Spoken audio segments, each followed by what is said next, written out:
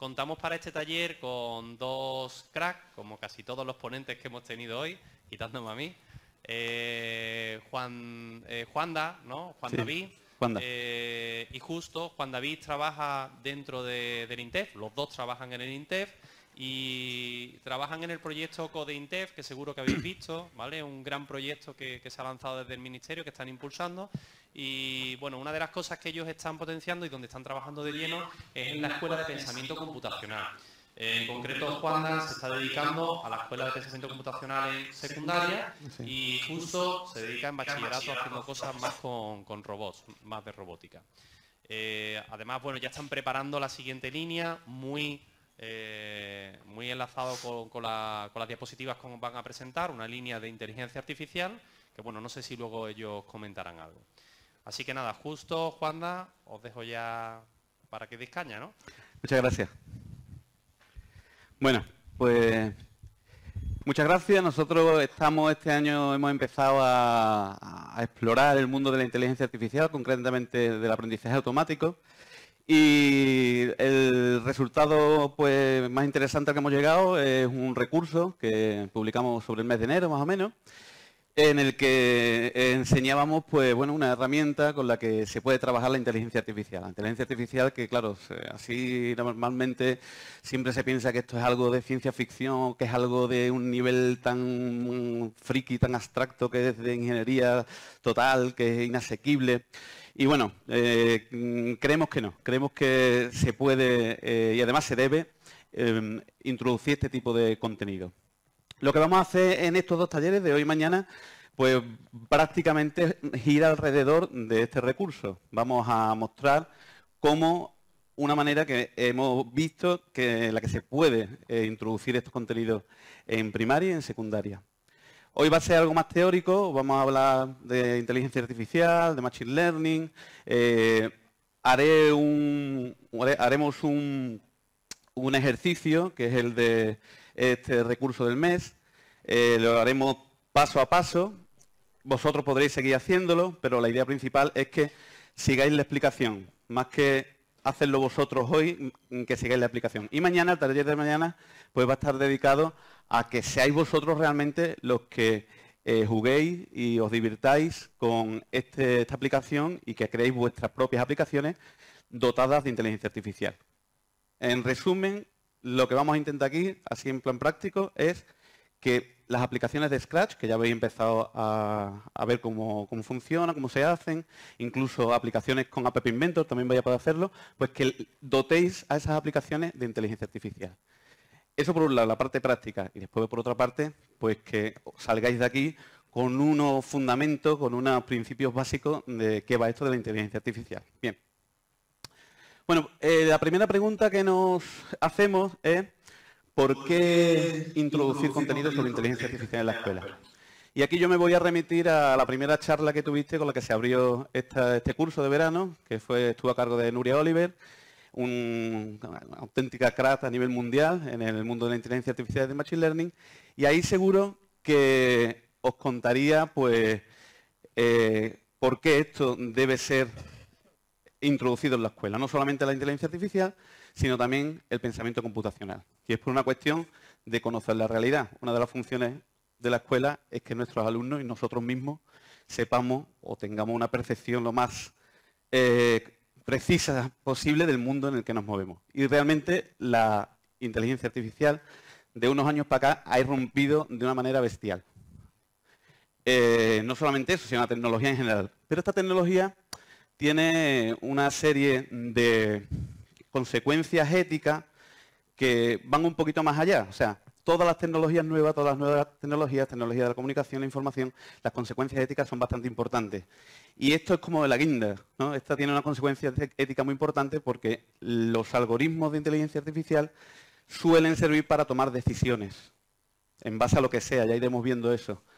Y esas decisiones, pues bueno, lo mismo ocurre como eh, el algoritmo de Machine Learning, de, aprendizaje automático de Google, que en un momento dado, pues clasificando imágenes, clasificó a estos dos chavalotes como gorilas. Obviamente, eso tuvo su trascendencia, ¿no?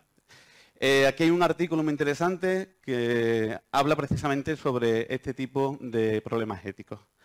Entonces, yo creo que con lo que dijo Nuria Oliver y más o menos esto, eh, esta pregunta está casi contestada. O sea, sí, es necesario que esto se introduzca. Lo que pasa es que ahora viene la, parte operativa, ¿no? Bueno, perdona, otra, otra, algo importante que se me ha pasado es que eh, realmente hay una preocupación por parte de los gobiernos, hay una preocupación institucional por el tema de la inteligencia artificial en todos los ámbitos, o sea, desde lo económico hasta la educación. Y hay informes, aquí hay tres informes que presentamos, uno que es de la Comisión Europea, otro que es de la UNESCO y este que es del propio eh, Estado de España, de la Estrategia Española, eh, inteligencia, eh, perdón, en I I e inteligencia artificial. Y estos son reports, son informes concretos sobre la inteligencia artificial en la educación. Realmente hay una preocupación a nivel institucional. Lo que sí es verdad es que aquí hay gente dándole al coco y escribiendo y viendo a ver cómo esto se, mete, ¿no? Que, o sea, que, es necesario. Por una cuestión simplemente de engancharse a lo que seguro que Nuria dijo de la cuarta revolución industrial. Si hay que estar ahí, pues hay que saber cómo funciona esto, no para ser ingenieros, sino simplemente para tener una idea de cómo funciona y cómo afecta a nuestra sociedad. Bien. Y la cuestión operativa, ¿no? Eh, está muy bien esto, pero ¿podemos enseñar inteligencia artificial en secundaria? ¿No? Esa es la pregunta que vamos a responder aquí y más que responderla vamos a mostrar. O sea, nosotros estamos convencidos eh, que sí, que sí se puede. Incluso vamos a mostrarla en base a, a unas experiencias previas ¿no? de, que hemos puesto en marcha. Así por situar la inteligencia artificial, para que no parezca que esto tampoco es algo absolutamente novedoso, que, joder, tenemos el pensamiento computacional y ahora la inteligencia artificial y después qué. En realidad, la inteligencia artificial se eh, concibe o, se, está mm, como, la concebimos como un potente recurso para desarrollar el pensamiento computacional. Ya os habrán hablado, seguro, eh, de que el pensamiento computacional, a pesar de que hay muchas definiciones, muchas definiciones sobre esto, pero así más o menos todo el mundo está de acuerdo que es una habilidad para resolver problemas haciendo uso pues, de la potencia de cálculo de, las computadoras. Y la inteligencia artificial es resolución de problemas con, máquinas, con computadoras, que de ser resueltos por un humano necesitarían algún tipo de inteligencia. Aquí hay millones de definiciones y además es un bosque en el que uno se pierde fácilmente, pero más o menos podemos llegar a, estar de acuerdo todos en esto. Y si unís los dos cuadros veréis que esto está dentro de aquí es algo que podemos utilizar, porque son algoritmos también, para desarrollar estabilidad. Y así es como nosotros lo, vamos, nosotros y prácticamente todos eh, los que estamos trabajando en este ámbito, eh, lo concebimos, ¿no? Como algo que eh, podemos utilizar para desarrollar. Está dentro del pensamiento computacional. De hecho, muchos de los algoritmos que podéis desarrollar en su momento fueron Mm, concebidos como algoritmos de inteligencia artificial. Incluso se pueden seguir eh, concibiendo así, porque un algoritmo que toma decisiones en base a una serie de reglas, se obtengan esas reglas como se obtengan, ya después veremos qué quiero decir con esto, pues puede ser considerado inteligencia artificial. De ser resuelto por un humano, requerirían algún tipo de inteligencia. ¿Vale? Con esto quiero ir un poco entrando en el camino de la desmitificación de la inteligencia artificial porque quizás sea eso uno de los puntos más importantes a la hora de que realmente esto pues lo, tomemos en cuenta y que no parezca pues un trasnochamiento de, unos pocos. ¿no? Porque ya digo, el término está muy asociado a la ciencia ficción y está muy asociado a algo inasequible. Bien, entonces, con ese objetivo de a ver cómo nos planteamos esa introducción de, este ámbito de, inteligencia artificial en, el aula, eh, una posible manera pues atendiendo a definiciones. Y si uno se pone a leer definiciones y se pone a leer cosas de inteligencia artificial, termina abrumado.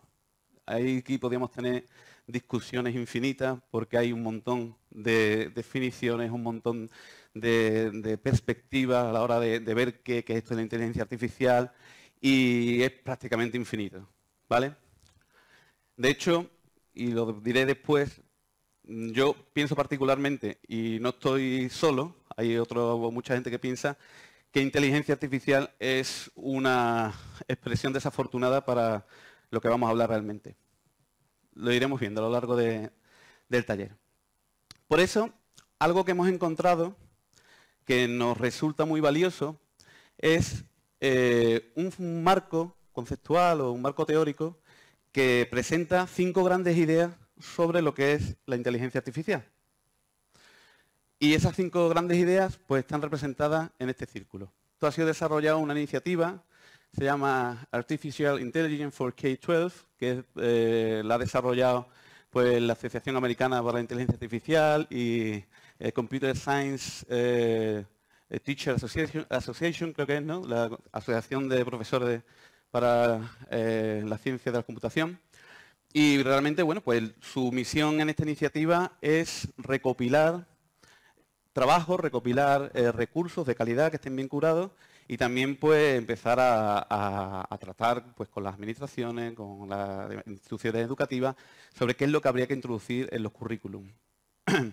en la transparencia que tenéis un enlace, si lo picáis, vais a eh, la página este, veréis que hay un montón de recursos. Hay muchos recursos y yo eh, recomiendo especialmente para todos los que estamos aquí este, que es un cursito, un mini curso que son aproximadamente en dos horas, no más, se hace completo.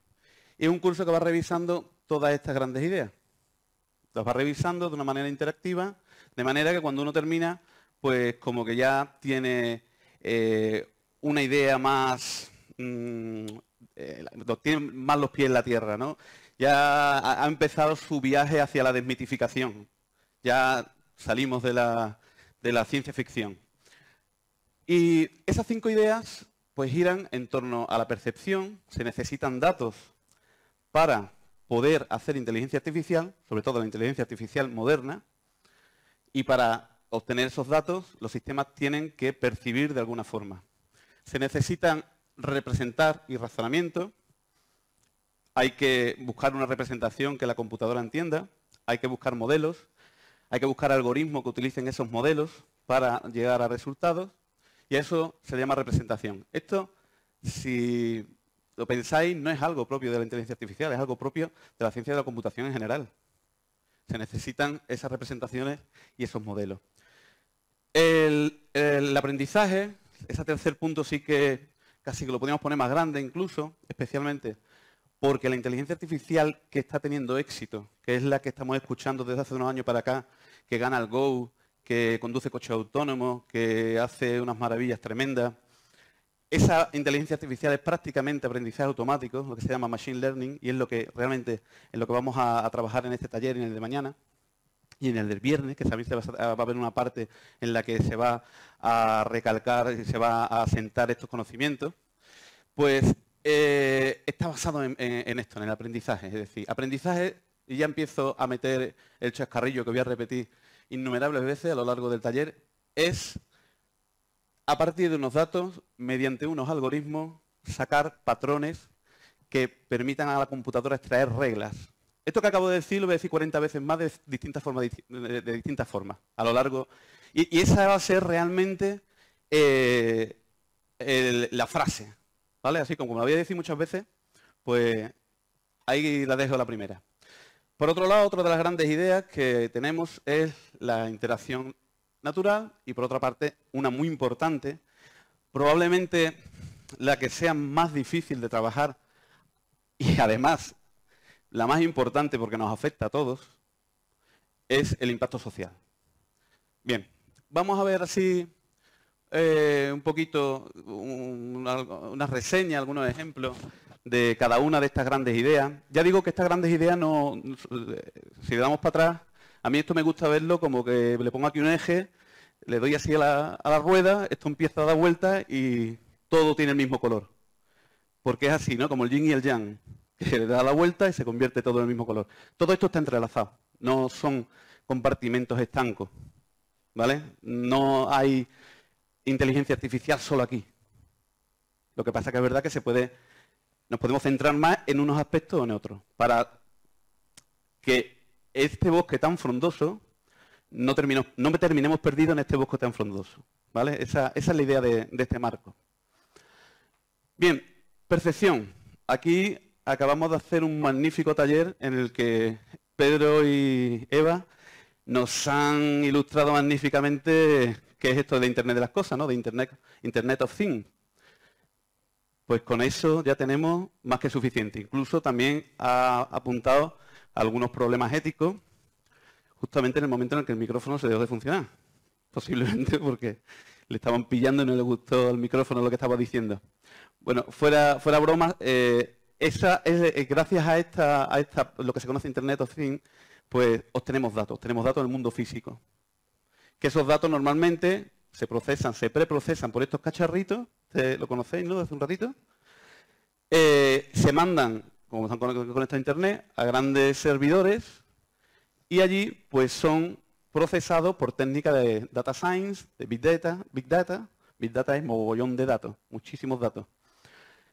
Y esos datos eh, se obtiene conocimiento a partir de esos datos y cuidado porque cuando se habla de esto de inteligencia artificial pasa en toda la ciencia de la computación y pasa en todo el mundo del, pensamiento computacional. Acudimos a metáforas continuamente, metáforas que tienen que ver con comportamientos humanos. Y hay que tener cuidado porque por una parte sirve para entender, pero por otra parte estamos engañando. Esto del conocimiento, cuidado. El conocimiento es una propiedad humana y no sabemos si realmente se debe llamar conocimiento a esto. Esto es simplemente técnicas estadísticas para descubrir patrones en los datos y de esa manera generalizar a otros datos.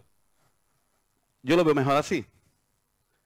Menos confuso. Lo que pasa es que, claro, la metáfora normalmente funciona. Pero tenemos que tener cuidado con, dejarnos llevar por las metáforas porque eh, después nos va a decepcionar, porque esto no es una inteligencia mecánica lo que vamos a obtener con esto. Bien, en el tema de la percepción, este es un vídeo muy, muy impresionante, que, que no sé si lo conocéis, en el que se muestra pues un pues eso, ¿no? Un coche que conduce solo, la conducción autónoma. Aquí existen todo tipo de sistemas de inteligencia artificial. Y uno de ellos es el que se encarga de mirar a través de cámara, porque no es una sola cámara, si veis aquí hay como tres, cuatro cámaras, de mirar el mundo a través de las cámaras y con algoritmos de reconocimiento de imágenes, pues va reconociendo las distintas cosas con las que se va encontrando, la carretera, los árboles, las personas, las señales. Bien, eso pues Puede ser, bueno, una forma de introducir esta parte que hemos llamado percepción ¿no? de, la inteligencia artificial. Una posible idea. Eh,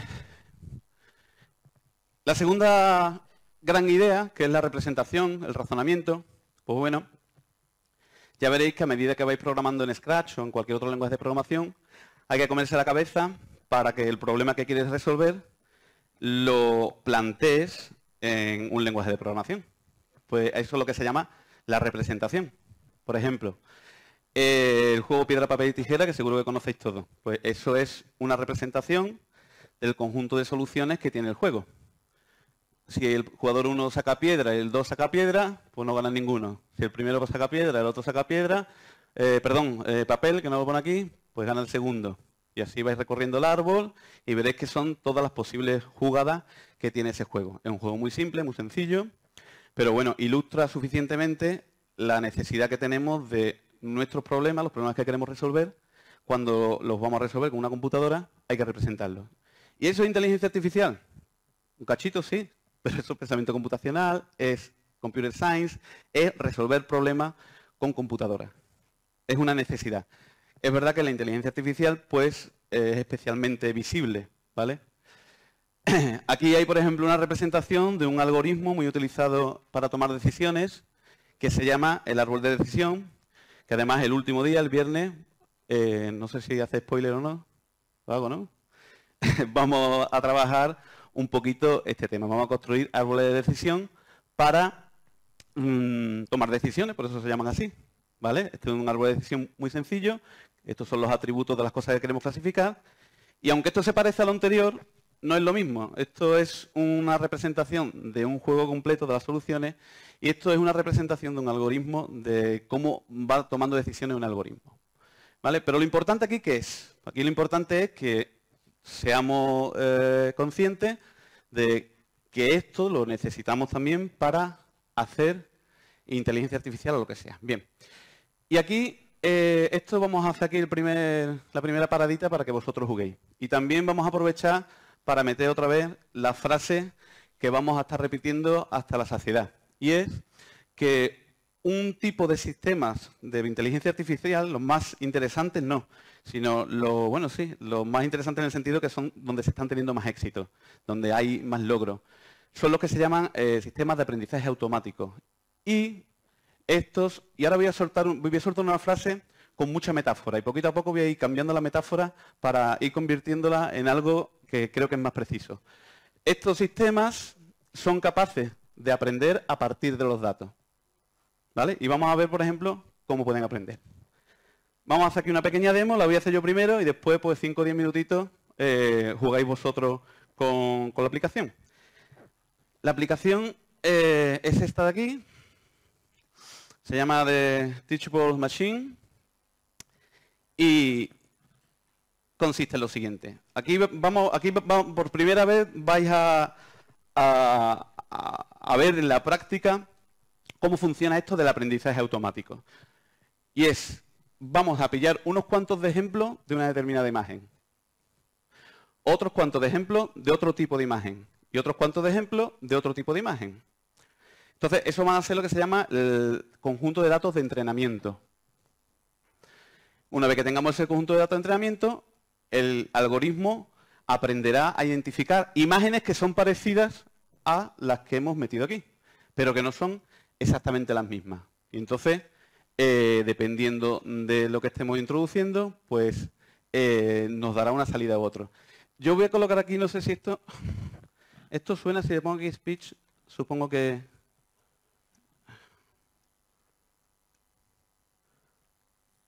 Bueno, les dejo aquí los muñequitos estos. Vale, por ejemplo, me voy a poner aquí enfrente y voy a sonreír, así. Le doy y voy a mover la cabeza también. Pues aquí la, idea es que tengamos muchos ejemplos de cara sonriente con distintas orientaciones, con cuantos más, mejor. Big Data es Big Data porque cuanto más mejor, porque se necesitan muchos datos. Cuantos más datos tengamos, mejor funcionan estas cosas. Lo cual es muy, no sé, lógico, ¿no? Evidente. Vamos a meter como 30 o 40 imágenes de alguien sonriendo. Mientras eh, sonrío, le voy a dar el botón verde y lo mantengo pulsado. Bien. Vale. La sonrisa va a estar relacionada con ese, con ese muñequito de ahí, ¿no? Ahora mismo solamente he aprendido de una imagen. Ahora me voy a poner serio.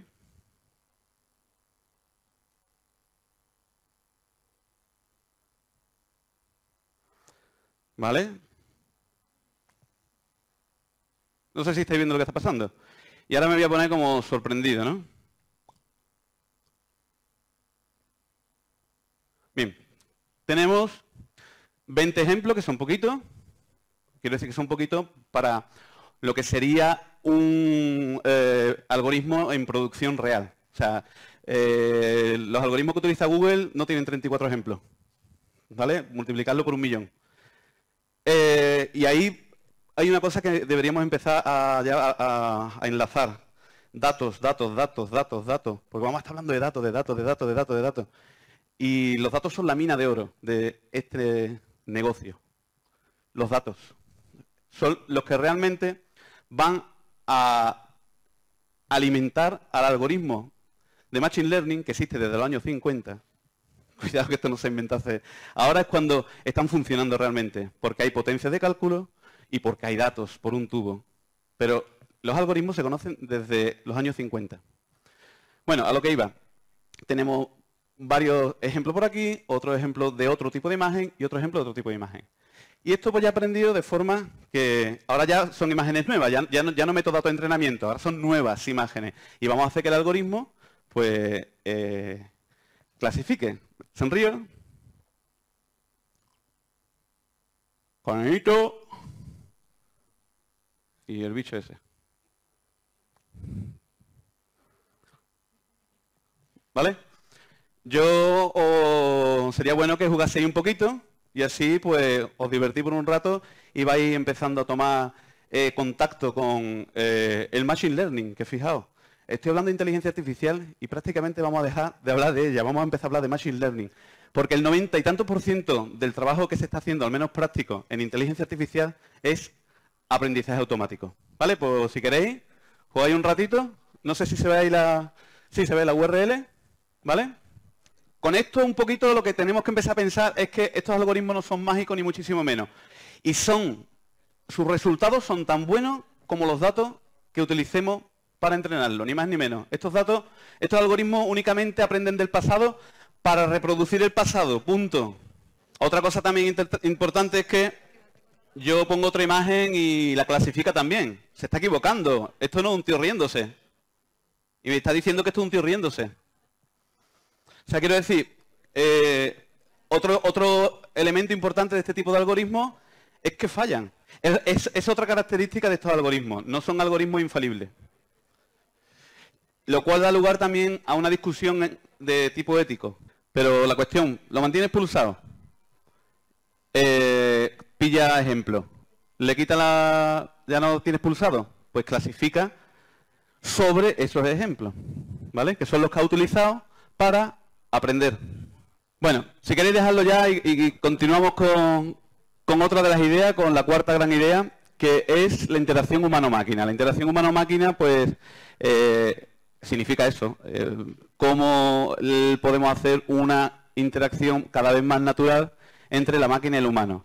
Un ejemplo que está muy desarrollado, y de hecho de las pocas cosas que están muy desarrolladas, porque aquí la inteligencia artificial todavía le queda mucho camino, y aquí esto enlaza con la robótica y, demás, es lo que son los reconocedores de, del lenguaje, ¿no? Del lenguaje, o sea, del lenguaje natural, del speech, de joder, de la voz, reconocedores de voz. ¿Vale? Entonces, aquí, por ejemplo, hay un montón de aplicaciones ya que, que, de hecho, en el móvil, no sé si vosotros utilizáis de manera frecuente, en vez de teclear, decirle directamente lo que queréis y ya él lo interpreta, ¿no? Aquí, por ejemplo, vamos a ver cómo funciona esto. Vamos a poner español de España y empezamos a grabar. Del salón, en el ángulo oscuro, de su dueño tal vez olvidada, silenciosa y cubierta de polvo, veías el arpa. Ah, perfecto. ¿Vale? Hay muchas aplicaciones que ya utilizan esto. Tenemos un montón de... tenemos un, montón de, de aplicaciones que están utilizando esto eh, y funcionan muy, muy, muy bien. O sea, la clavan Totalmente, incluso hasta se puede hablar con un acentito que no es exactamente el eh, castellano y a ver cómo responde cuando hablamos así. Bueno, pues esta app es pública, sí, esta se puede utilizar perfectamente y demás. Lo que pasa es que es verdad que solamente funciona con Chrome. Pero, pero sí. Aquí ya, ya he metido la República de la API pública. Bueno, estos son también algoritmos que están eh, eh, o, modelos que están generados con algoritmos de estos tipos de aprendizaje. O sea, realmente hay un montón de speech, de, voces, de palabras que se han metido como ejemplo y a partir de ellos pues, pues entienden. Vale. Bueno, vamos a pasar a la otra gran idea. Esto lo vamos... Muy bien, ¿eh? Realmente, además va corrigiendo, es increíble porque como que va rectificando dependiendo de lo que yo diga después. bueno.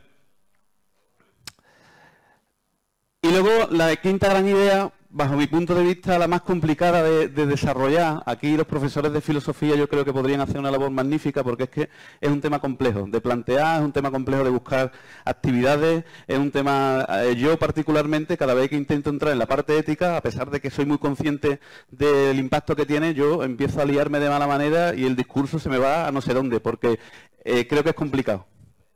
Es complicado. Y el impacto social, pues es algo que tenemos que tener, y ético es algo que tenemos que tener en cuenta, ¿no? Por lo que hablamos antes y demás.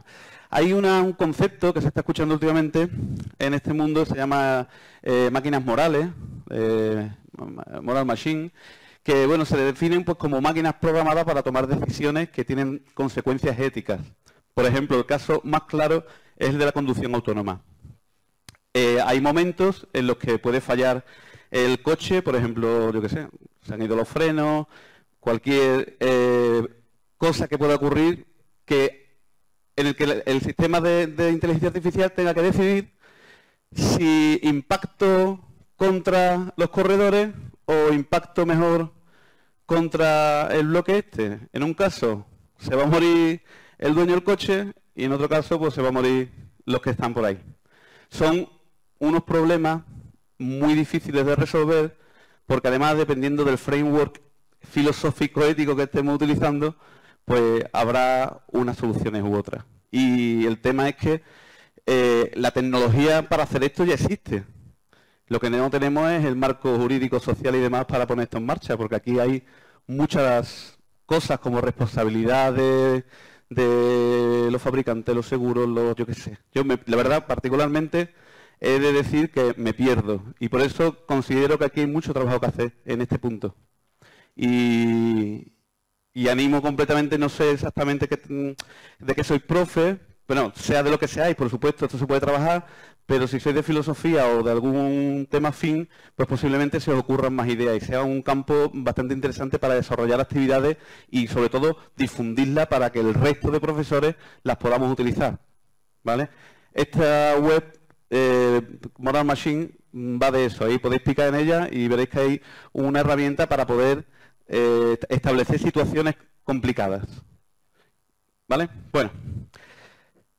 Entonces, llegado a este punto, ¿cuáles son los objetivos que nos marcamos en estos talleres, tanto de hoy, de mañana, como en una parte también del del viernes? ¿no? Pues el primero es desmitificar la inteligencia artificial.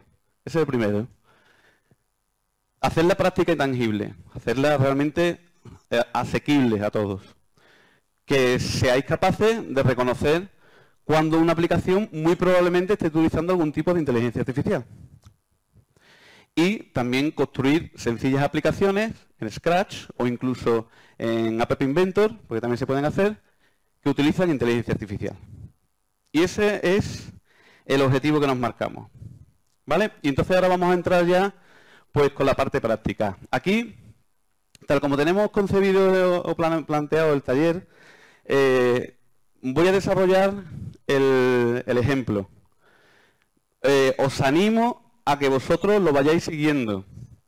Pero si en un momento dado os perdéis porque en el Scratch no encontráis tal cosa, porque lo dejáis y seguís viendo lo que está pasando aquí, porque mañana vais a tener tiempo de de hecho, vais a tener prácticamente todo el taller para que um, bicheéis, para que juguéis con él.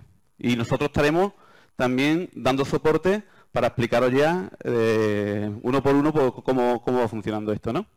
Bien, entonces este vamos a hacer un asistente virtual, que es algo que seguro que conocéis todos, porque y ya se ha hablado en algunas... Eh, de hecho, Pedro, en el taller eh, anterior, habló de los asistentes virtuales, estos tipo Siri, tipo eh, Cortana, el de Amazon, que no me acuerdo cómo se llama, ¿no? que lo tienes ahí un microfonito en tu habitación y le dices, enciéndeme la luz, apágame tal, ponme el aire acondicionado. Y, él pues te va interpretando y va haciendo, va obedeciendo las órdenes que le vas dando. Pues eso es lo que vamos a hacer. Esa es nuestra intención. Vamos a simular una habitación donde hay una lámpara, donde hay un ventilador y esto es una representación del asistente virtual que podía ser el cilindrito esto, pero es más bonito este muñequito que, el cilindro de, no me acuerdo cómo se llama ahora mismo el asistente virtual de, Alexa, Alexa es el bueno y, eso vamos a programar esa aplicación, ¿no? Una aplicación que entienda órdenes dadas en lenguaje natural y que la ejecute correctamente. Vale. Aquí no hay que temblar y decir, esto va a ser súper complicado, esto, no, esto es demasiado extraño. Bueno, no os preocupéis que esto es una sesión práctica de un colegio de aquí de Sevilla, Carlos V, donde niños de quinto y de sexto han hecho este asistente y el profe pues se ha basado en los recursos que hicimos del INTEF, que es lo que vamos a, explicar ahora, y se ha basado en ellos para hacer su propia clase, eh, y bueno, y, ahí lo tenéis, ¿no?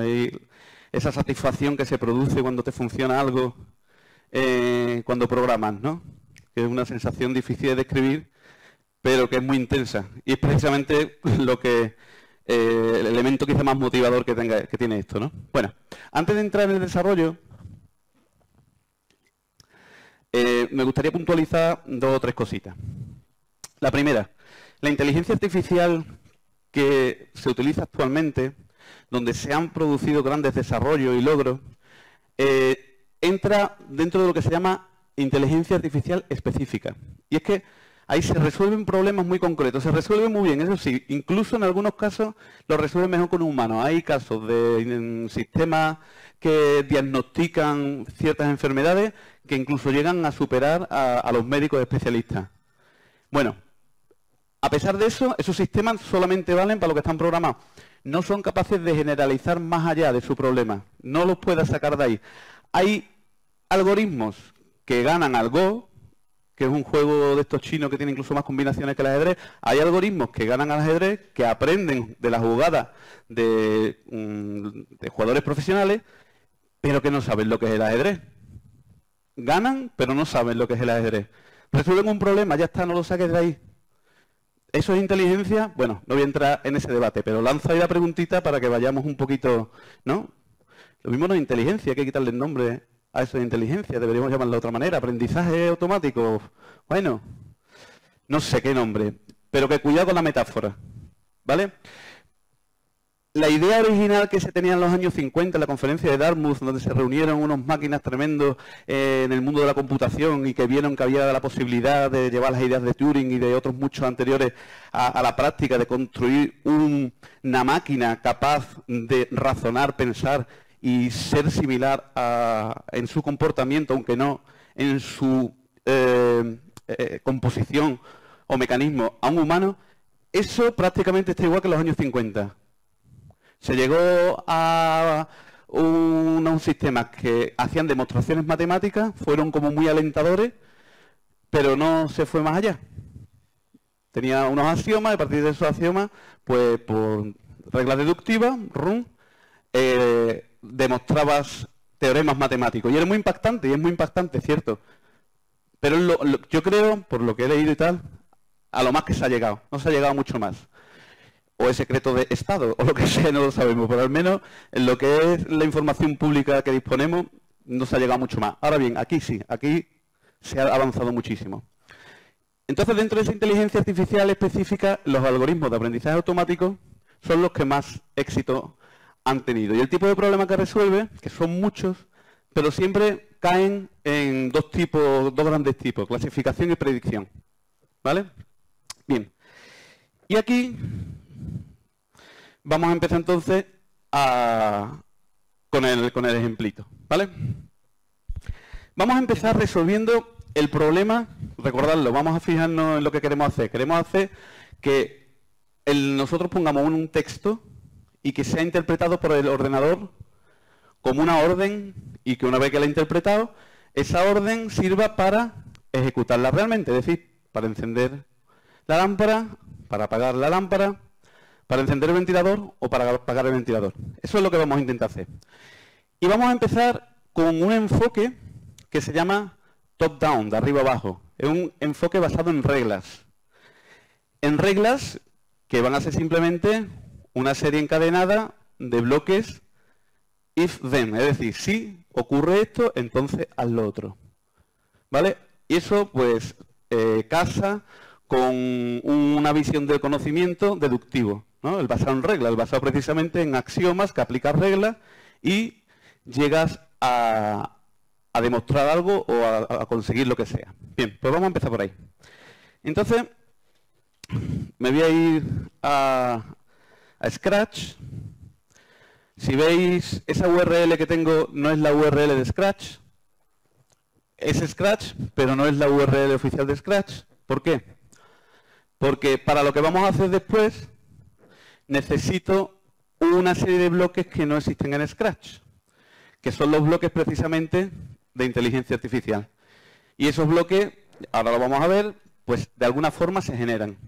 Y Scratch, la versión oficial, eso no lo tiene. Pero como afortunadamente Scratch es código libre, es free software, tenemos disponible todo el código con el que se ha programado esta aplicación. Y podemos modificarlo, podemos extenderlo, podemos hacer más cosas con ello. Y gracias a eso, pues hemos metido eh, inteligencia artificial o machine learning concretamente en Scratch. Por eso voy a utilizar esa URL de ahí, ¿vale? Que no tiene ni siquiera todavía, no le tenemos puesto un dominio. Bien. Quizás, Juana, que entre ya Learning Machine. Todavía, ahora mismo vamos, o sea, simplemente... Luego no uséis la versión normal del Scratch porque luego la arrancamos desde la otra máquina. Hay gente que está entrando ya en su versión de Scratch. Vale, si... Va a funcionar porque va a llegar un momento en el que voy a decir, grabad lo que tengáis, que ahora lo tenemos que cargar en este Scratch. Lo que vamos a hacer ahora se puede hacer en el Scratch normal y corriente. ¿Vale? Lo que vamos a hacer ahora. Y va a llegar un momento en que lo que hagamos necesitamos esta versión de Scratch. ¿Yo qué voy a hacer? Porque utilizo esta versión desde el principio y ya está. ¿Vale? Bien, pues vamos al lío. Eh, debéis tener en los materiales, de hecho, eh, debéis tener un ejercicio. Ay, posiblemente no lo haya puesto. Pues mira, eso me va a servir para que no lo vayáis haciendo y, y estéis atentos aquí. Bien, para resolver un problema eh, programando mediante una computadora, lo primero que hay que tener muy claro es qué queremos resolver. Hasta que no tenemos claro lo que queremos resolver, no deberíamos empezar a tirar ni una sola línea de código. Bien, pues tenemos por un lado ese fondo, que es esto de aquí, no nos vale para nada, simplemente para tener la casita. Tenemos por otro lado un sprite u objeto que le he llamado giga, tenemos una lámpara y tenemos un ventilador. Fijaos, la lámpara tiene ya un código que no vamos a tener que tocar. Lo he metido ahí para ir avanzando. ¿Cómo funciona ese código? Ese código funciona con lo que se llaman mensajes, ¿vale?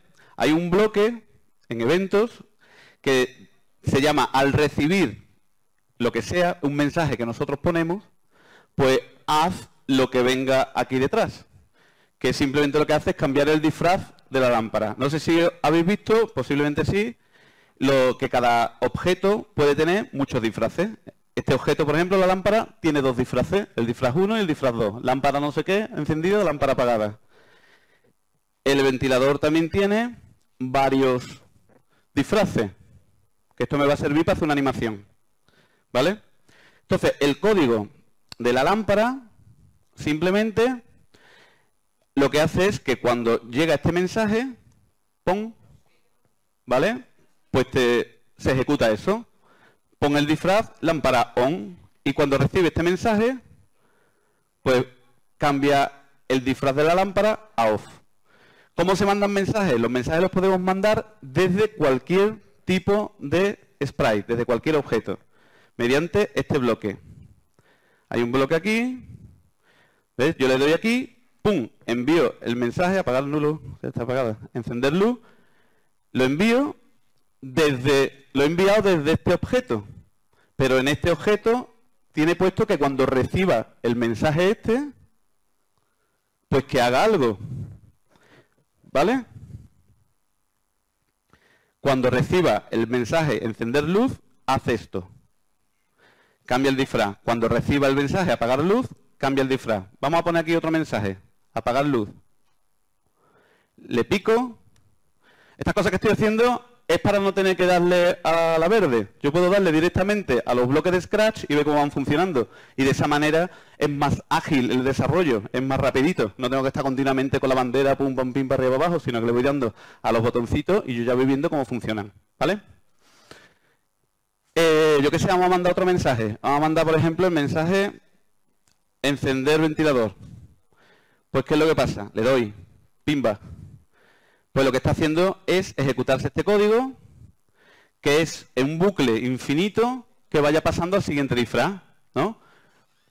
por siempre, ve pasando al siguiente disfraz. Siguiente, como hay cuatro disfraces, pues da la sensación de que el ventilador se está moviendo. Esto no tiene nada que ver con el problema que queremos resolver. Esto es simplemente para poner el contexto de simular una lámpara y de simular un ventilador, ¿vale? Entonces, es importante, eso sí, que tengamos claro que el envío de mensajes se puede hacer desde cualquier objeto. No tiene por qué ser del objeto sobre el que queremos actuar. Eso es lo que se llama un mensaje de broadcasting. Se envía el mensaje y ya el objeto que tenga al recibir este mensaje, pues ya cada uno actuará en consecuencia. ¿Vale? Muy bien. Pues vamos a apagarla la luz, que me molesta, así. Este apagar el ventilador y este apagar la luz. Vale, lo quito. Y entonces ahora vamos a empezar ya a programar el asistente. Vamos a hacer un bloque muy sencillito. Empezamos poniéndole el bloque este, ¿no? De, la banderita para cuando empiece el programa. Y como la educación es algo muy importante, pues que salude, ¿no? Y ahora el bloque que vamos a utilizar para preguntar al usuario va a ser un bloque que se llama, pues preguntar al usuario. ¿Vale? Un bloque que está en, sensores y que hace una pregunta. Y aquí podemos poner, ¿qué deseas? Entonces, eh, este bloque lo que hace es que al ejecutarse, pues va a preguntarnos algo, nosotros responderemos por el teclado y lo que nosotros respondamos se coloca en una variable que se llama respuesta. ¿Vale? Vamos a ejecutarlo para que lo veáis. Dice hola, le pongo lo que sea, ¿qué desea? Nada. ¿Vale? Y eso que acabo de teclear está aquí. Fijaos. ¿Lo veis? Esto es una cosa muy útil cuando se programa con Scratch, que podemos colocar bloques por ahí dispersos y simplemente picando en ellos vemos lo que hace. Es útil para el desarrollo, no para la aplicación final, obviamente, porque esto en la aplicación final no se ejecuta, puesto que no está enganchado con ningún sitio. Pero para desarrollar viene muy bien, para probar cosas. ¿Vale? Pues ahora lo que vamos a hacer simplemente es que diga la respuesta, pues que nos la diga. Esto es lo que se, se llama un eco. Entonces, ejecutamos esto. Hola, ¿qué desea? Nada. Y claro, me gustaría simplemente fijar lo que hace. Dice lo que nosotros es un loro. Dice lo que nosotros digamos ahora mismo del programa, no hace más. Y claro, eh, se, ejecuta el programa y aquí se acaba. Nos gustaría que pudiésemos hacerle más preguntas. Entonces lo que voy a hacer es meter en un bucle infinito, que seguramente lo habéis visto también, pues toda esta parte de aquí. De manera que ya ahora pues tenemos... Hola, ¿qué desean? Nada. Y se vuelve a repetir. Que nada. ¿No?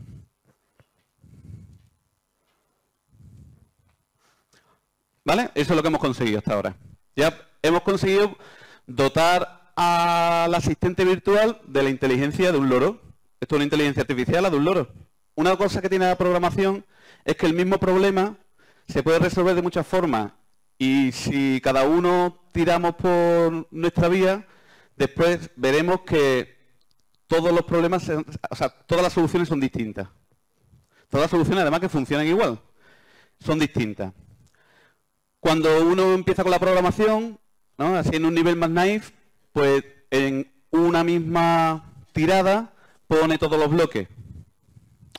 Y eso va a funcionar, pero tiene un problema y es que cuando queremos hacer modificaciones, pues resulta que mm, eh, tenemos que quitar muchos bloques, nos confundimos, eh, termina siendo todo como muy oscuro, termina siendo todo como demasiado denso.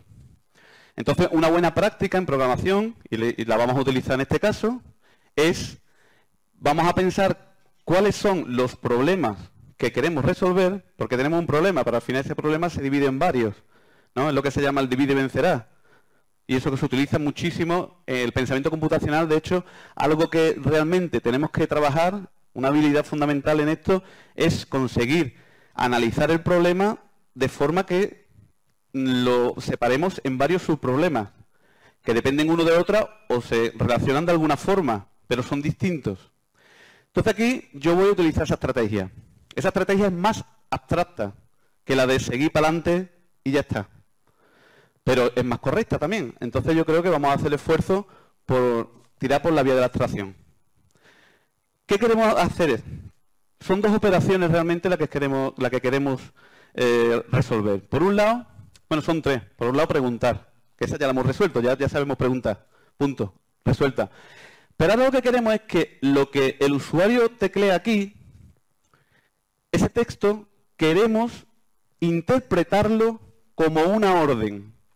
¿Cómo qué orden? Tenemos cuatro órdenes, ¿acordáis? Que se corresponden con cuatro mensajes. Encender luz. Eh, bueno, aquí le tengo yo puesto como lámpara on, lámpara... Perdón, perdón, perdón. Encender luz, encender luz, en efecto. Apagar luz, ¿vale? encender ventilador, apagar ventilador. Esas son las cuatro órdenes o mensajes que cuando lo enviemos, pues van a hacer que funcione nuestro chisme. Pues nosotros, primer problema que tenemos es que un texto, por ejemplo, enciende la luz, chavalote, que eso lo transforme en encender luz. O que yo le digo, o fugue que lo tengo, pues que eso lo transforme en encender ventilador.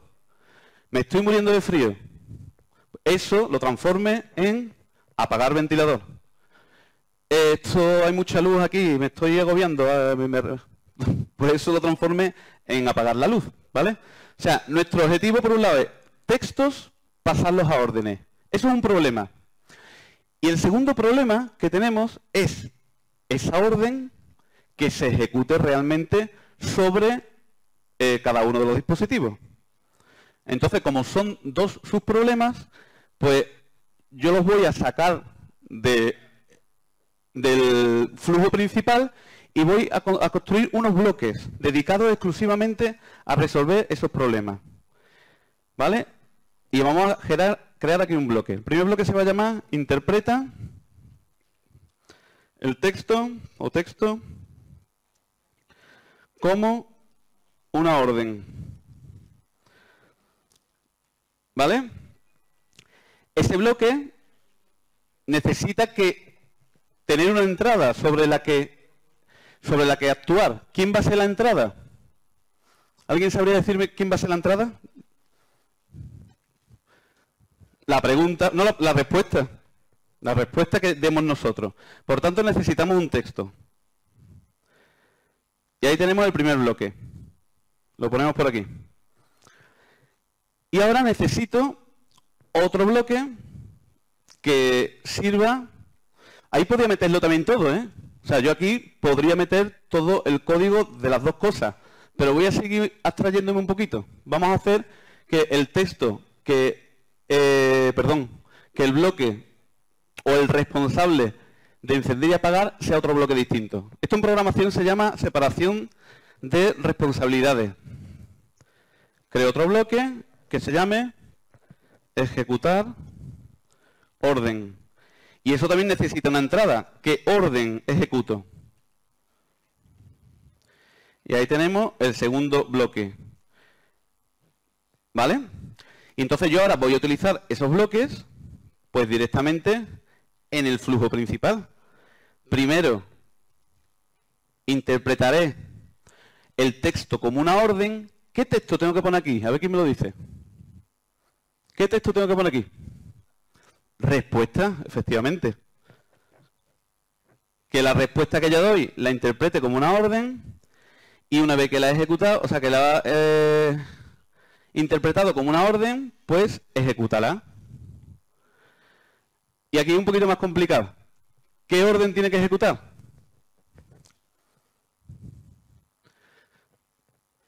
Bueno, este bloque de aquí tiene una función muy clara y es que el texto que yo le meto aquí lo tiene que transformar en una de estas cuatro frases. Encender luz, apagar luz, encender ventilador, apagarte el ventilador. Esa es la responsabilidad de este bloque. ¿Vale? ¿Qué puedo hacer yo para que este bloque convierta esto a una de esas cuatro frases? Pues puedo utilizar el concepto de variable. Me puedo crear una variable que le voy a llamar eh, orden. Perdón. ¿Cómo le puedo llamar a esa variable orden, por ejemplo? Porque es la... realmente lo que queremos es fijar. Orden, puede ser un buen nombre. Bien, pues creo esa variable, que fijaos que me aparece aquí, la puedo quitar si quiero eh, picando aquí, pero vamos a dejarla que de esa manera siempre vamos a tener el valor que toma la variable. Seguro que cuando había estado programando el videojuego el otro día, habría utilizado alguna variable para las vidas, el número de vidas, lo que sea, ¿verdad? Y ayer incluso con, con App Inventor también. Pues vale, este bloque es el encargado de definir cuánto va a valer, o sea, qué valor va a tener esa variable orden. Pues, por ejemplo, una primera aproximación que podemos hacer es dar a la variable orden para que siga siendo un loro. ¿A quién se le ocurre lo que tendríamos que poner aquí? Para que esto sea un loro. La respuesta, o sea, directamente lo que meta por aquí.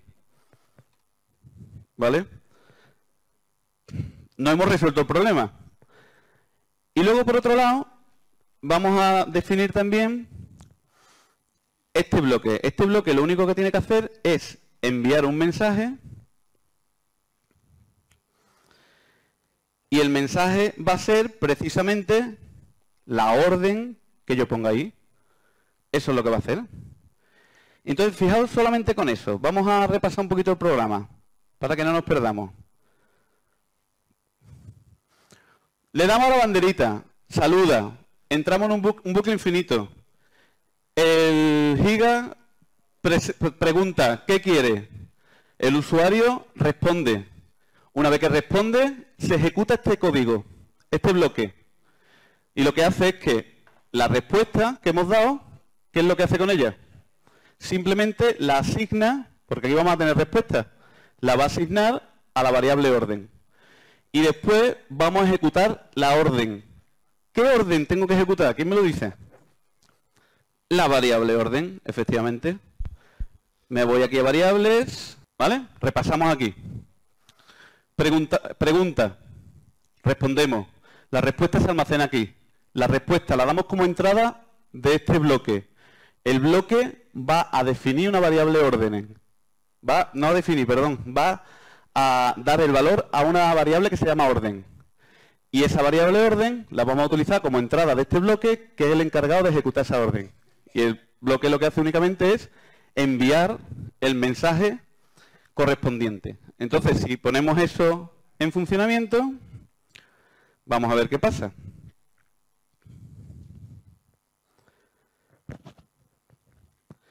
Hola. ¿Qué quiere? Nada. Pues fijaos que orden ha pillado el valor nada. ¿Ha pasado algo? si ha pasado algo que no hemos visto, que se ha mandado un mensaje y el mensaje era nada, pero no había ningún receptor de ese mensaje. No había ningún al recibir el mensaje nada haz algo. Con lo cual, como nadie ha recibido el mensaje que se ha enviado, pues no pasa nada. Puedo poner aquí lo que me dé la gana. ¿Vale? Ahora bien, si yo pongo encender luz,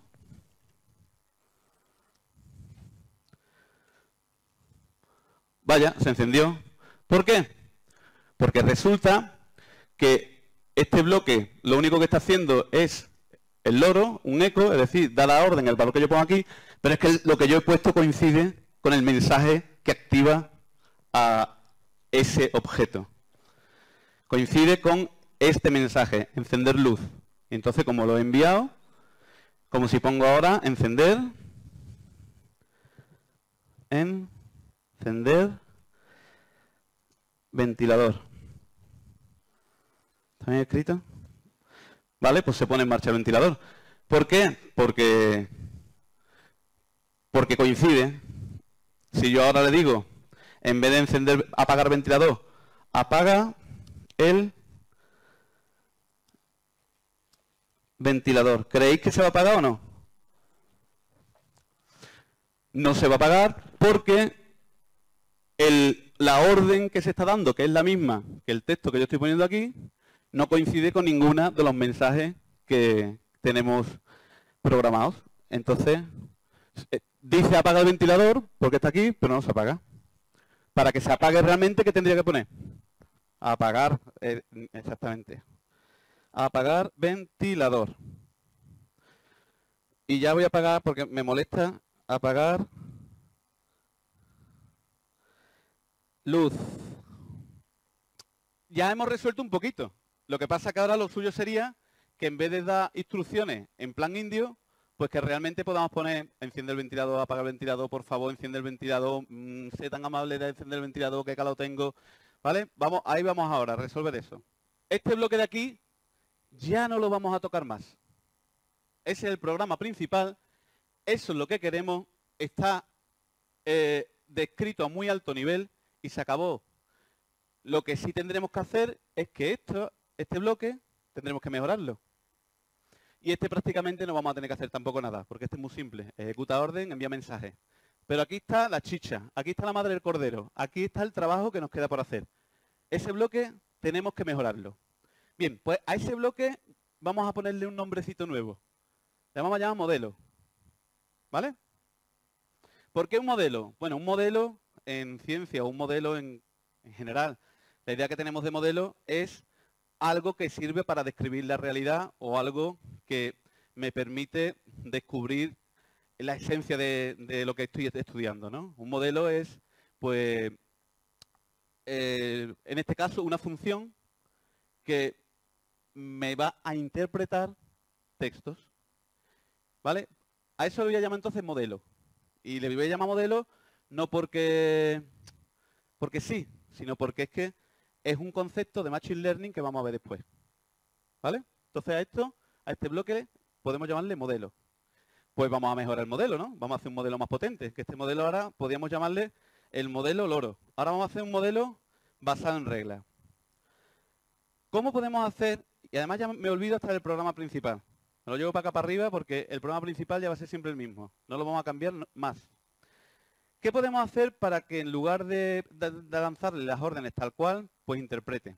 Pues aquí lo que podemos hacer, por ejemplo, es utilizar eh, condiciones de este tipo. Si pasa una cosa, tal cosa. Si pasa otra cosa, no sé qué. Voy a poner cuatro. ¿A alguien se le ocurre por qué voy a poner cuatro condicionales? Hay cuatro órdenes. ¿Vale? Entonces voy a empezar poniendo un condicional por cada orden. ¿Vale? Bien, en este condicional, pues lo que voy a hacer, recordad, eh, eh, eh, en última instancia, hagamos lo que hagamos aquí, este bloque, su responsabilidad, ¿cuál es? Este bloque puede ser tan sencillo como antes o puede ser un bloque que ocupe 40 páginas. Me da igual, pero al final, ¿qué es lo que tiene que hacer? Asignar un valor a la variable orden. Punto. En la medida en que asigne ese valor, mejor o peor, el modelo será mejor o peor. Pero esa es la responsabilidad, asignar un valor a la variable orden. Bien.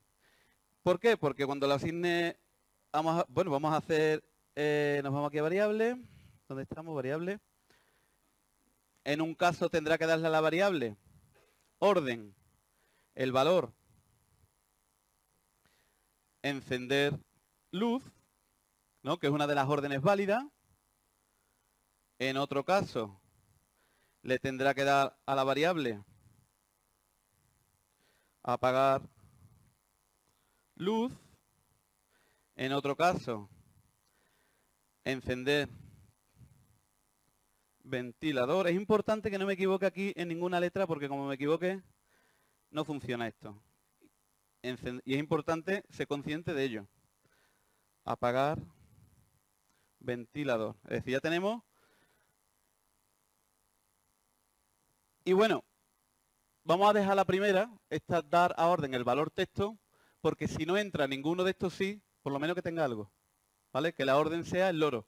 Que la orden sea que definamos un valor para esa variable. O sea, que el bloque, su responsabilidad la cumpla. Mejor o peor, pero que la cumpla. Que la orden no se quede ahí sin definir. Entonces, para eso comenzamos dando aquí el valor, que después la tenemos que cambiar, pues la cambiamos.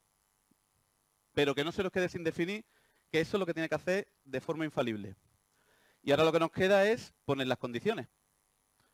Por ejemplo, ponemos la primera condición, que sería eh, sí. ¿Dónde están las condiciones aquí? Perdón. Operadores.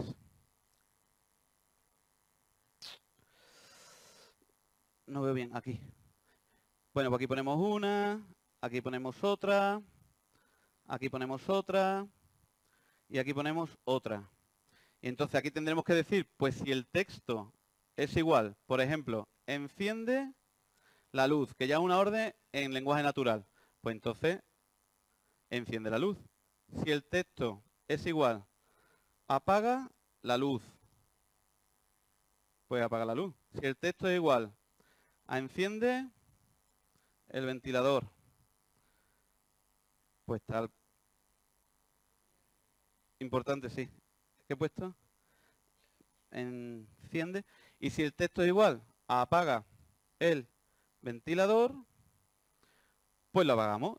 Y entonces aquí tenemos un primer modelo, un modelo basado en reglas que va a permitirnos interpretar cuatro órdenes, eh, cuatro textos en lenguaje natural como órdenes, ¿no? Le damos aquí a play y entonces ya podemos hacer, pues esto, ¿no? Enciende la luz. ¿Vale? Apaga la luz. Y bueno, ya por lo menos no lo, no lo hablamos como un indio. ¿Bien? Pues esto es lo que se llama un modelo top-down, un modelo basado en reglas. ¿Qué problema tenemos con esto? Bueno, ¿queremos mejorar esto de aquí? Pues si queremos mejorar esto de aquí, una cosa que podemos hacer es poner más sí. Si que, por ejemplo, queremos que entienda la orden, enciende la luz, por favor, o encender la luz, o qué calor tengo. Por ejemplo, para encender el ventilador, pues pondríamos un nuevo condicional que sea si enciendo el ventilador, perdón, si el texto es igual a qué calor tengo, entonces enciende el ventilador. Y así podemos ir añadiendo sí, sí, sí, sí, sí, sí, sí. Lo que pasa es que, claro, aquí hay un problema, ¿no? Que estaréis viendo. Hay muchísimas formas de decir lo mismo. Esto puede crecer, pues, muchísimo. También podemos hacer otra cosa. Y es, en lugar de que crezca hacia abajo, también podemos hacer que estas condiciones sean un poco más complejas. Por ejemplo, si el texto es igual a apagar ventilador o el texto es igual a qué calor, a qué frío tengo, o el texto es igual a apaga el ventilador por favor, o el texto es igual, o el texto es igual, o el texto es igual, o el texto es igual. Crecemos así, hacia acá. El programa nos va creciendo a lo ancho o a lo alto, pero inevitablemente nos va creciendo. Además nos va creciendo hasta una cantidad excesiva si consiguiésemos mentalmente meter todas las posibles expresiones, esto sería una inteligencia perfecta. ¿No? Si imaginaos que aquí podemos poner todas las expresiones que se nos ocurran para estas cosas. Pues ya habríamos resuelto nuestro problema. Simplemente con reglas puestas desde arriba hasta abajo, de una forma deductiva, tenemos resuelto el problema. ¿Es factible? Pues obviamente no es factible. ¿Vale? Entonces tenemos que resolverlo de otra forma. Eh, hay una forma de mejorar esto, que es en lugar y que, me, me, permitiría, me permitiría que con solo cuatro condiciones pudiese meter también más, eh, más textos. Y no tendría por qué crecer esto tanto. Voy a contar cómo se haría, pero no lo voy a hacer, porque veo que estamos de tiempo regular. La forma sería, en lugar de utilizar una variable, utilizar listas. Una lista es un conjunto de elementos. Entonces haríamos cuatro listas, encender luz, apagar luz, ¿vale? Cuatro listas, y en esas listas meteríamos toda la frase que queramos, y en los condicionales lo que haríamos es simplemente eh, comprobar si el texto está en la lista. Y si el texto está en la lista, encender luz, entonces enciende la luz. Si está en la lista, apagar luz, esto hemos hecho lo que se llama una refactorización. Es decir, hemos hecho un código más potente, más organizado, que ya no crece. No crece el código, los datos sí. Porque las listas van a crecer también muchísimo. O sea, aquí el crecimiento es impepinable. Hemos dado con un límite al modelo de reglas, desde arriba hasta abajo. Hemos dado con un límite. ¿Vale? Esa eh, no lo voy a mostrar.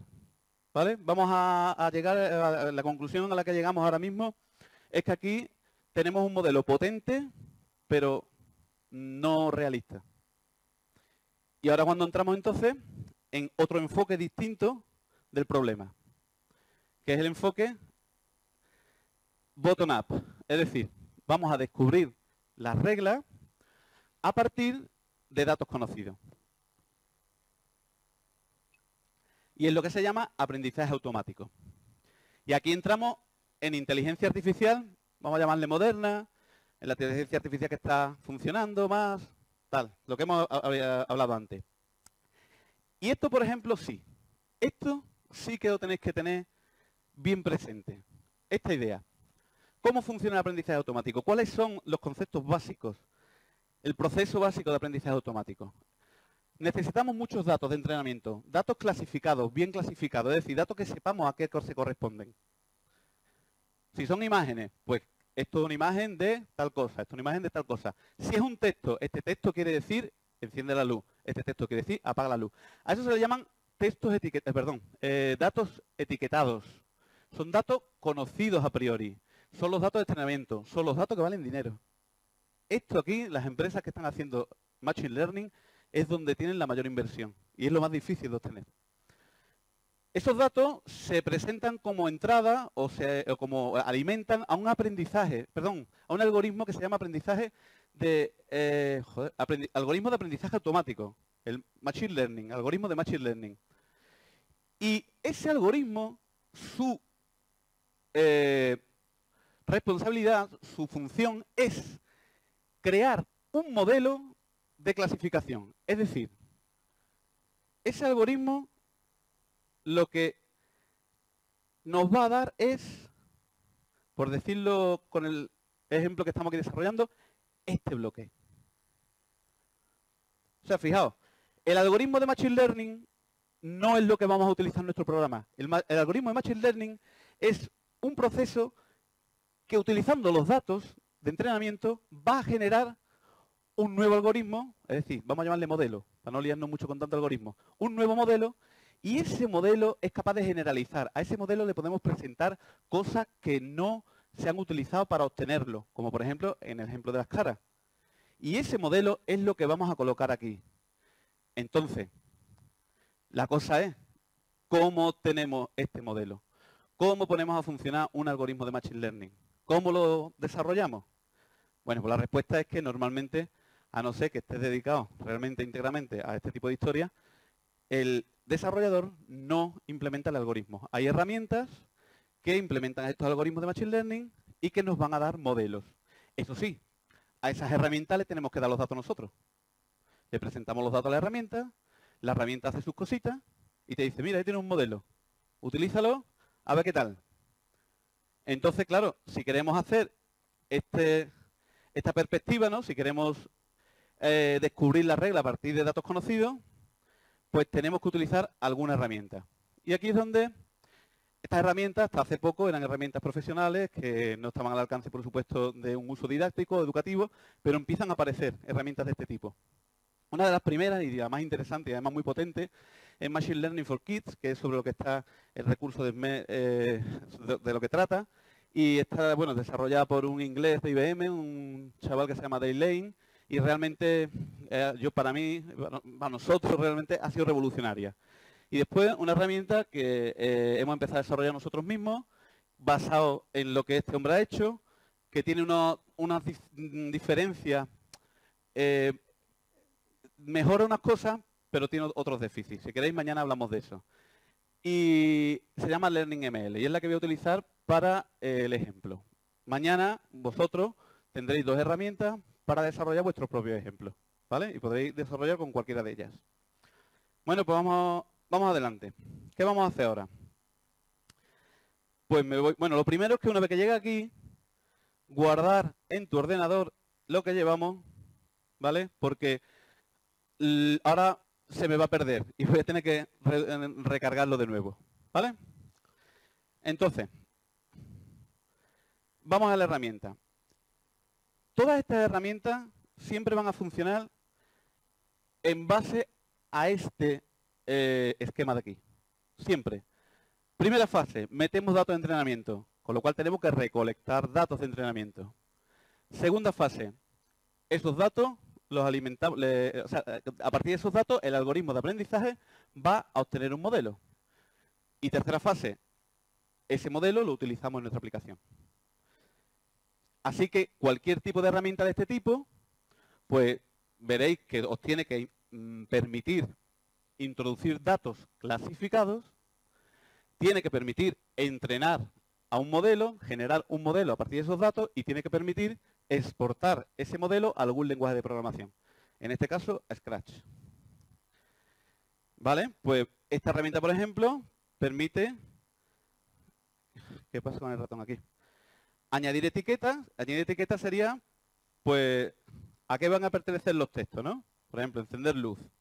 Aquí meteríamos las etiquetas. Esto mejor que no lo hagáis ahora mismo, ¿eh? Porque queda poco tiempo y creo que lo mejor es... Aquí meteríamos pues la siguiente, ¿no? Apagar luz. Y una vez que tenemos la etiqueta, pues aquí vamos a añadir texto. Tucutú, tucutú, ¿vale? Texto que tengan que ver con encender luz. Bien, yo para ir un poquito más rápido, directamente lo que voy a hacer es cargarlos con, este, con esta herramienta, ¿no? Cargar datos, que yo ya tengo ahí un, una serie de ejemplos. Uy, esto se me ha colado. Perdonad, ¿sabes? Pero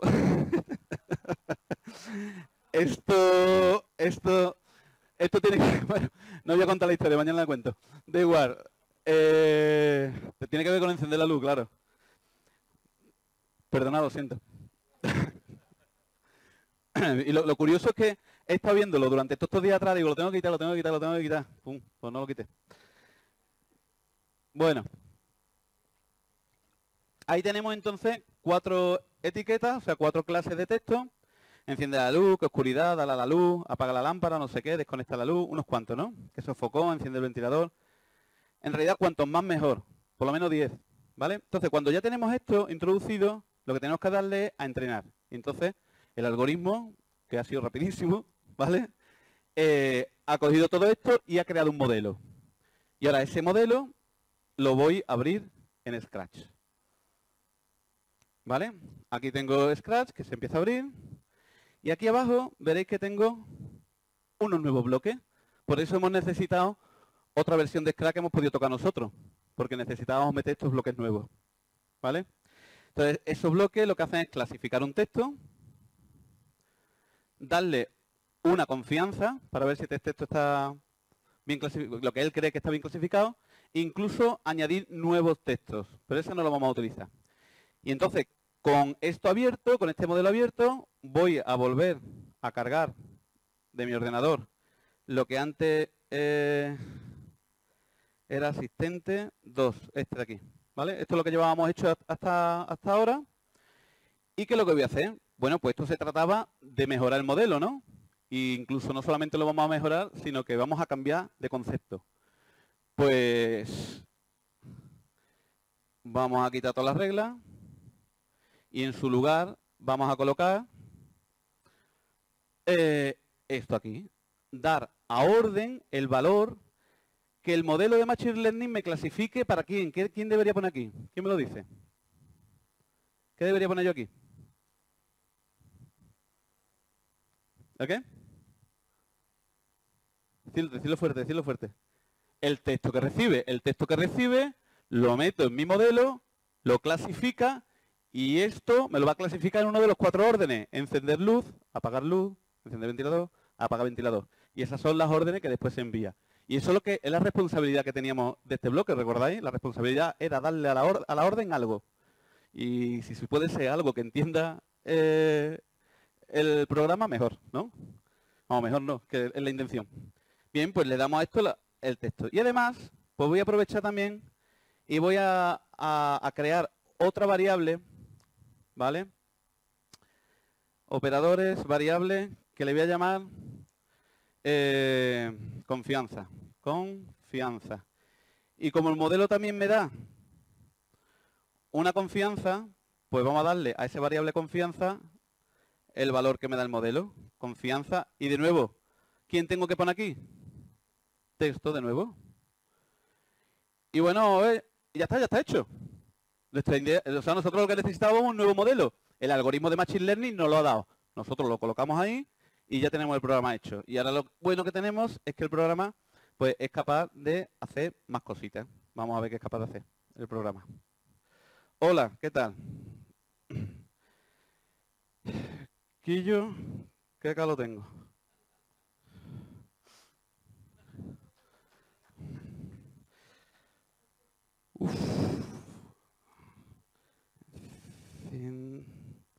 Enciende, no veo la luz, que no veo nada. Bueno, una de las cosas que está haciendo esto es que está mezclando, tanto enciende la luz como no veo, están en el dato de entrenamiento. Entonces, está reforzando como lo que tiene que realmente eh, decir. ¿Vale? Y obviamente, si le digo, dale a la lamparita, a ver qué es lo que hace. Bueno, pues dice encender el ventilador. ¿Por qué? Mira la confianza. ¿Vale? Él clasifica otra cosa que acierte. El resultado del modelo es tan bueno como los datos que le metamos. Y esa es otra de las grandes ideas que tenemos que tener en cuenta. ¿Qué podemos hacer ahora si queremos que esto sea un poquito más preciso? Pues lo que podemos hacer es que como tenemos una confianza, pues nos vamos a este bloque y en vez de enviar la orden porque sí, pues podemos decirle, vamos a ver, si la confianza es mayor, ¿no? Era una variable, ¿dónde está la variable? Variable confianza. Si la confianza es mayor a 0,60, vamos a ponerle por ejemplo, ¿vale? Está, es de 0 a 1 la confianza enviar orden y si no, pues que diga exactamente, que diga, tío, que no me, entero. A ver, esto es apariencia, decir...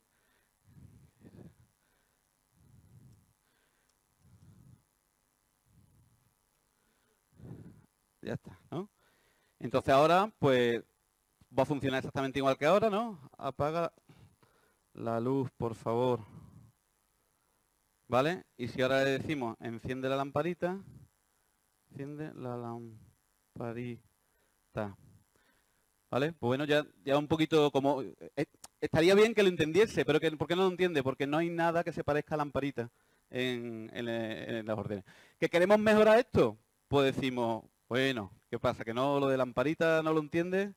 Pues fíjate, simplemente con poner aquí lamparita, lamparita, ¿he puesto lamparita bien? Lamparita joder, perdón, lamparita, simplemente con poner eso en encender luz, que estaría mal, porque había que ponerle algo que, indique enciende, porque si no lamparita, pero bueno, voy a poner eso simplemente. Eso sí, una vez que tenga datos, hay que volver a entrenar el modelo, ¿vale? Nos venimos aquí y le digo, enciende la lamparita, ¿vale? Y ya entiende lamparita. De hecho, ha mezclado lamparita con enciende que está muy mal el dato que he puesto, ¿eh? ese dato eh, no, debe ser así. Debería haber sido enciende la lamparita, dale a la lamparita, algo no lamparita sin más, ¿vale? Ya lo ha recargado. En el modelo en que le das a entrenar se recarga automáticamente. Puede ser, vamos a verlo. Eh, no, se enciende, efectivamente. Por eso es un mal dato. Por eso, por eso os digo, al final, ¿qué, tenemos como conclusión de todo esto? Que lo importante, no, vamos a ver, el algoritmo de aprendizaje es importante, pero es que no puedo hacer nada si los datos son malos. ¿Vale? Bueno, eh, esto mañana lo vais a trabajar vosotros mismos con esta herramienta eh, o con la de Daylane, que es muchísimo más potente, porque esta herramienta eh, implementa un, determinado algoritmo de Machine Learning de una manera muy naif. O sea, un algoritmo de Machine Learning sencillito. Y el de Daylane, Machine Learning for Kids, utiliza Watson, que es uno de los servicios de inteligencia artificial y machine learning más potentes que hay ahora mismo en el mundo, o sea que es de IBM. Entonces hay una pequeña diferencia. Pero realmente a la hora de mostrar lo que queremos mostrar, no necesitamos grandes maquinones para clasificar 10, 20 textos. ¿Vale? O sea, datos que estén, eso, entre 20, 30 textos por ahí. Y lo que nosotros queremos es que el estudiante salga con la idea de qué va esto de la inteligencia artificial, de qué va esto del machine learning. Y aquí se, se, intuye, ¿no? Eh, bien, bueno, llega a este punto, que queda poco tiempo, vamos a darle una vuelta de tuerca para el que se haya quedado un poco así como diciendo, sí, esto está muy bien, pero tú lo has dado entrenar y ya está. Y ahí, ¿qué ha pasado ahí? ¿No? Has metido los datos, las has a entrenar y, uh, maravilla de la maravilla, tenemos un modelo y parece magia. No es magia, ¿eh? Vamos a darle una vuelta de tuerca. Aquí es donde está realmente eh, una serie de conceptos que son bastante complicados en principio. Pero vamos a intentar eh, adquirir cierta intuición. Vamos a hacer una... Eh, vamos, a pensar, vamos a hacer una serie de metáforas en la que el modelo, lo que hemos estado llamando modelo, va a ser una máquina. Una máquina que tiene una característica. Es que ya funciona, pero tiene un montón de botones, un montón, muchísimos botones. Y dependiendo de cómo esos botones lo estemos ajustando, a esos botones se llaman son los parámetros, pues la máquina funciona de una forma u otra. ¿Vale? La máquina le metes una cosa, saca otra. Cambia los botones, le metes una cosa, puede que saque otra distinta. Entonces, el modelo ya lo tenemos. Es un modelo no entrenado. Y de ahí parten todos los algoritmos de Machine Learning, de proponer un modelo no entrenado. Y a partir de unos datos que tenemos etiquetados, ¿vale? Un algoritmo de Machine Learning, que nos lo vamos a imaginar como alguien omnisciente, alguien que tiene acceso a los datos, al modelo y demás, pues un algoritmo que de Machine Learning va a proponernos, o sea, para poder clasificar datos, pues va a obtener, a, darnos el, el, modelo. Repasamos, perdona que me lío un poco. Objetivo, generar un modelo a partir de unos datos conocidos y etiquetados usando un algoritmo de aprendizaje automático. ¿Para qué? Para poder clasificar datos que no conocemos, datos que no se le han presentado en el entrenamiento. Bien, ¿no? Esas son todas las, partes del juego. Los datos de entrenamiento, el algoritmo de Machine Learning, las etiquetas que clasifican a nuestras cosas y el modelo, que es lo que queremos obtener para meter en nuestros programas. Entonces, cuando le hemos dado el botón entrenar, lo que ha pasado es lo siguiente. Esto ya lo teníamos. ¿Vale?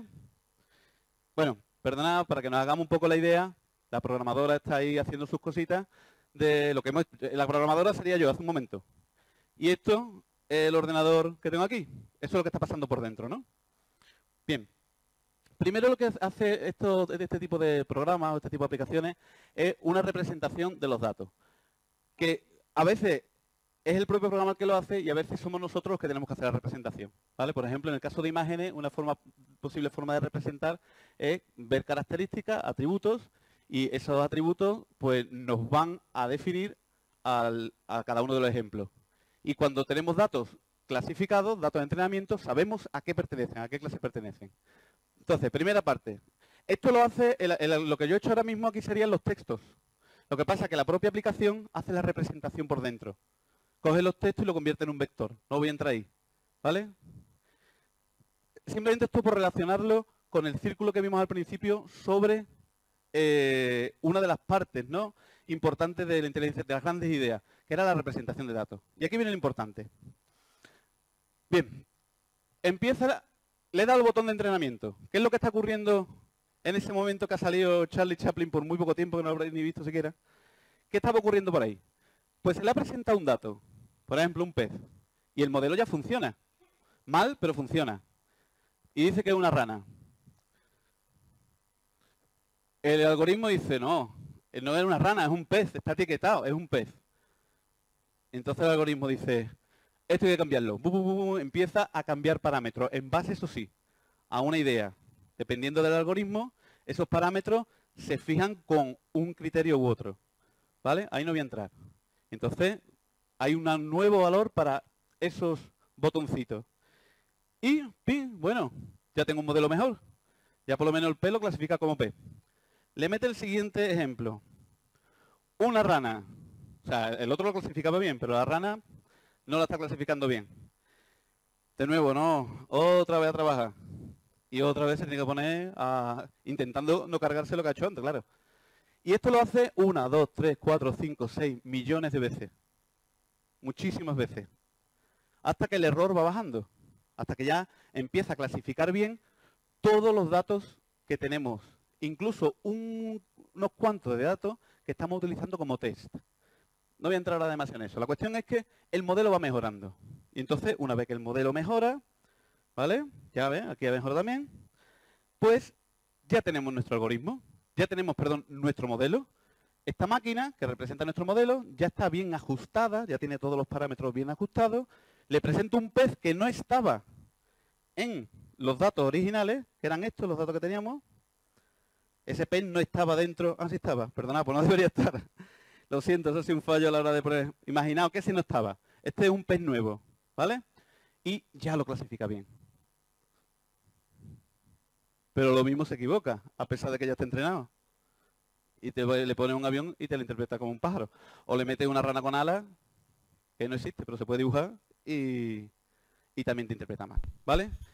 Aquí si veis, el, genio ya no está ahí, el modelo funciona solo. Ya el genio hizo los ajustes, sacó el modelo y el modelo ya lo utilizamos nosotros como salió. Efectivamente. Pero el genio ya no está ahí actuando.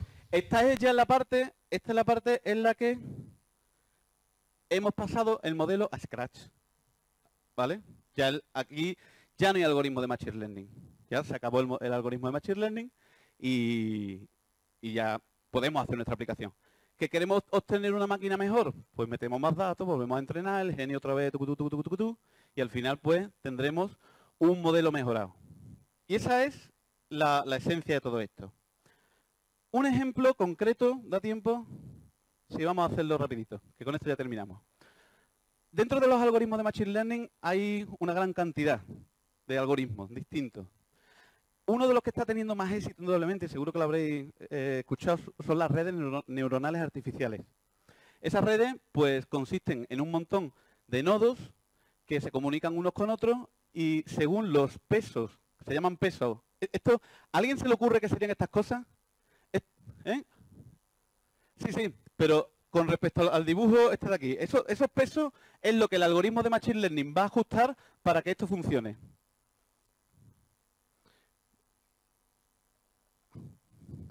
Esos pesos son los botoncitos, ¿vale? Que el algoritmo de Machine Learning está toqueteando para que funcione bien el modelo. Porque el modelo ya lo damos, el modelo ya es, esto ya funciona, esto ya directamente. Lo pone a funcionar y funciona. Mal, pero funciona. Y el algoritmo de Machine Learning lo que hace es ir cambiando estos modelos, que perdón, estos pesos, que son mogollón, yo he puesto aquí cinco, pero fíjense, por cada interconexión que hay, hay un, peso. Entonces, eh, lo que hace es mm, ir ajustando eso para que al final haga algo así.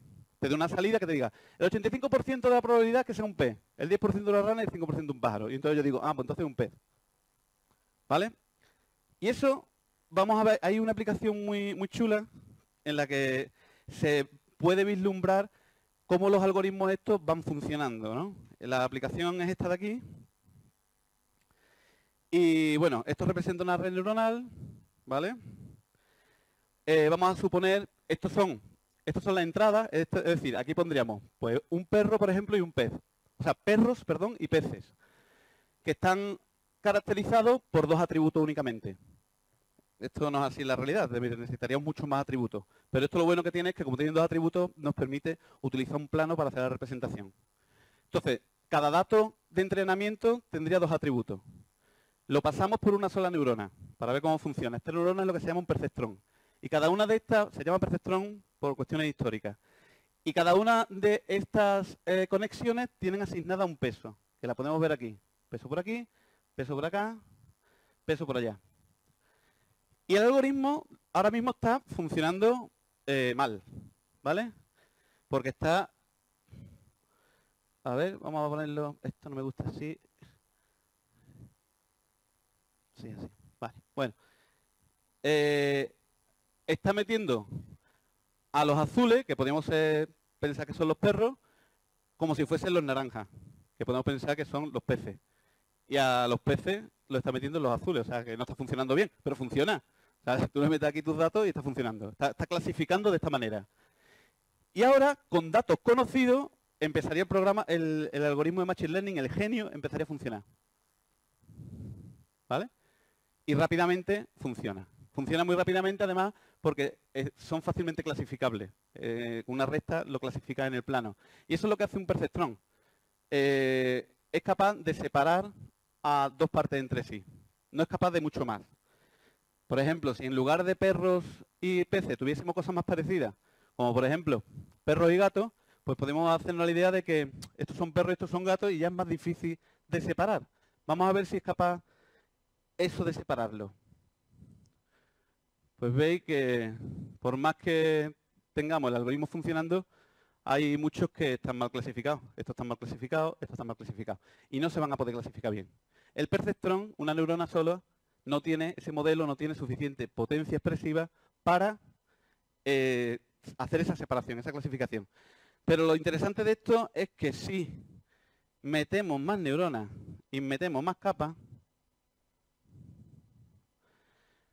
ya como que ¡pam! ya es capaz de hacer cosas más complejas. Incluso si metemos ruido en los datos, porque por ejemplo eh, haya lo que se llaman outliers, ¿no? lo que se llaman datos mal pillados, datos extraños, malos outliers, no sé la traducción bien, bueno, datos que habría que quitarlos de nuestro dataset, pero se meten por lo que sea, incluso así el algoritmo sigue funcionando. Son algoritmos robustos en ese sentido. Claro, son muy robustos, te dan una solución. Lo que pasa es que eh, no te garantizan. Ahí está, llegó. Esto es una demostración para que intuyamos lo que antes hemos visto con el genio, el modelo, sobre un tipo de algoritmo de Machine Learning particular, que es la red artificial neuronal. Hay muchos más. Hay algoritmos que se llaman eh, los vecinos más cercanos, los árboles de decisión, eh, ahora mismo no me acuerdo de más, pero hay muchos más. ¿vale? Entonces, eh, bueno, una cosa que para terminar me gustaría mostrar es un caso real de red neuronal.